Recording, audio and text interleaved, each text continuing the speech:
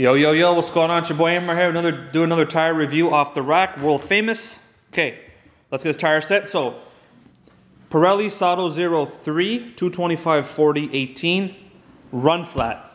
Okay, I repeat, 225 40 18 Pirelli Sottozero 3. I've done them before, but we got a run flat going on here.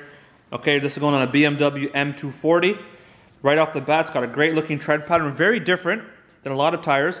Before, like, it's got three sections of the tire. Before, like, you know, every generic tire would have piece here, a row, a row, a row, a row, and then directional. So it's got three parts of the tire.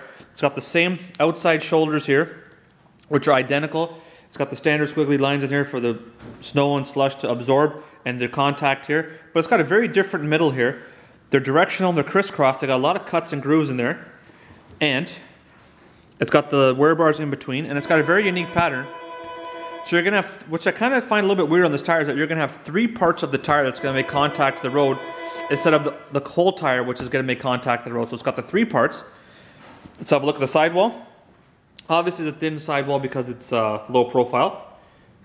Okay, Snowflake official, winter certified, rotational tire. RSC because it's run flat. And let's see if we can just peep the DOT or where it's made. Let's have a look here. Let's see what's going on. It is a run flat like I said.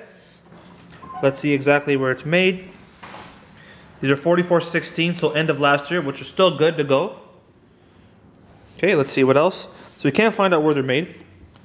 And they're really good tires, so I suggest you go out and buy them.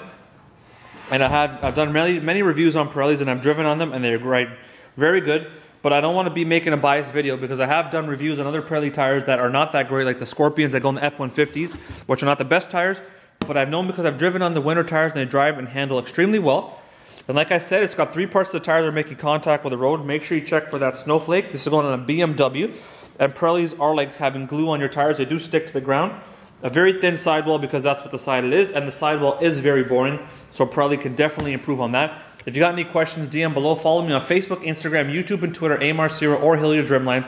Give us a like and a comment, and let's make it happen. Or give me a call at 905 528 3500. I'm here Monday to Saturday. Let's lock it in, baby. You know what time it is.